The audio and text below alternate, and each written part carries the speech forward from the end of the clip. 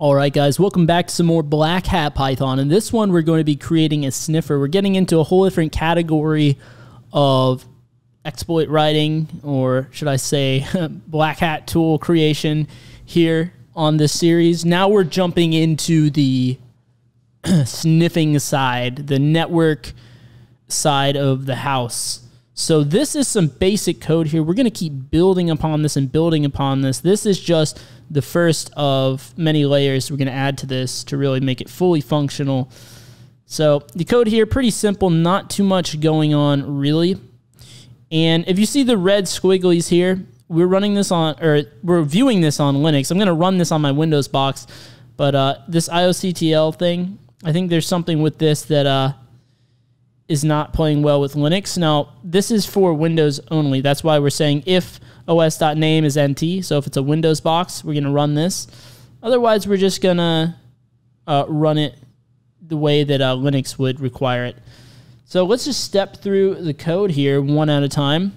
We only need a couple of modules for this. We only need the socket and OS modules. Now, this host here, I would change this to the IP address of the machine that I'm running on. And pretty much everything's going to be in the main function. So simple enough there. So in the main function, we're going to check if it's a Windows box. If it is, then we're going to define a socket protocol variable and set up uh, IP proto IP.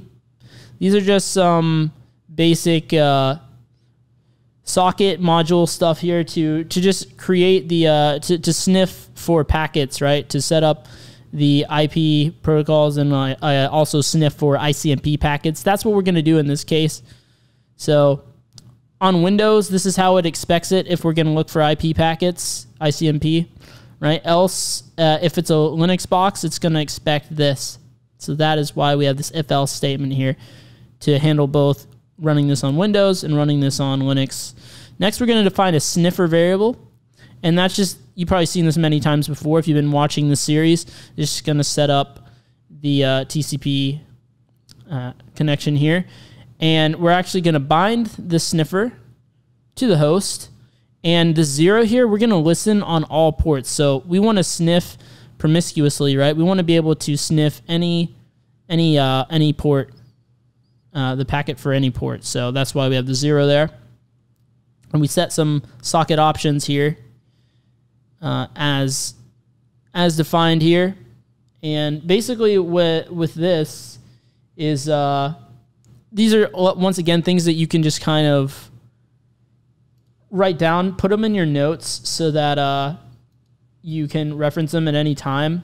But essentially, with the socket option, it's just going to include the IP headers in our captured packets. So you can grab the headers, and then after that, we're going to determine if we're you know, using Windows or Linux once again here.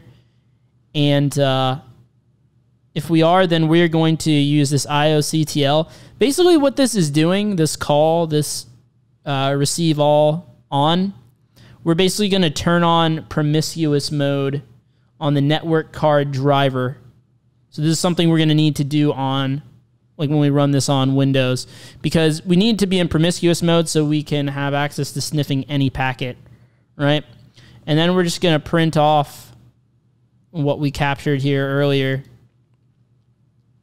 And uh, also, once again, if it is a Linux box, or sorry, if it is a Windows box, we're going to then turn this back off.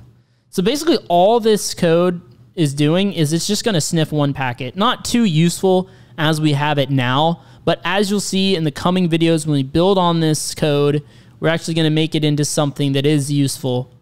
Uh, I'll be demoing this code here in a second, but basically, as we have it written right now, it's only going to print off simply the entire raw packet with no packet decoding. Now, in the next video in the series, we are going to actually be creating a decoder to decode this uh, hexadecimal garbled uh, output that we're about to see. So we can actually make sense of it, can actually do cool stuff with it. But for right now, we just need to get something bare bones working, and then we can just build upon that. So I'm going to go ahead and run this from my Windows box here. Now, if you see, I already have the code here.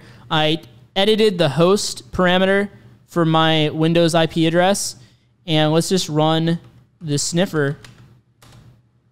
And so this is on my host machine, so a lot of things are happening right now. If I was running this on a VM where nothing else was going on, I could send a ping request to like any website like nostarchpress.com and it would grab that packet. Basically, the first ICMP packet is being grabbed, and as you see here, it's all this crazy output going on here that we're going to be decoding and processing when we build out further tools to really enhance this thing.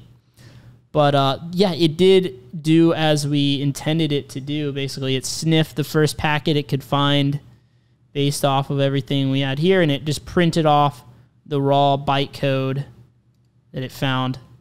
And so that's pretty much all there is to this script. Let me know if there's any questions down in the comments section below, of course, as we move forward here and we get into more interesting things. It's pretty cool. We're moving forward. We're learning a lot of Python and interesting networking concepts along the way. It's always interesting to see how you actually interface with this stuff. It gives you a newfound understanding of how networking works and, and all that. It's pretty useful to, to at least know this stuff for certain. And uh, yeah, if you guys been enjoying this so far, hit the subscribe button, the like button as well. Help get the message out there. And I will see you guys in the next video on the screen. If you want to get into more of these Black Hat Python videos, perhaps you just skipping around a little bit, which is totally cool. Uh, but you can check out, um, catch up on whatever you need to catch up on. I'll see you guys right over in those videos, though.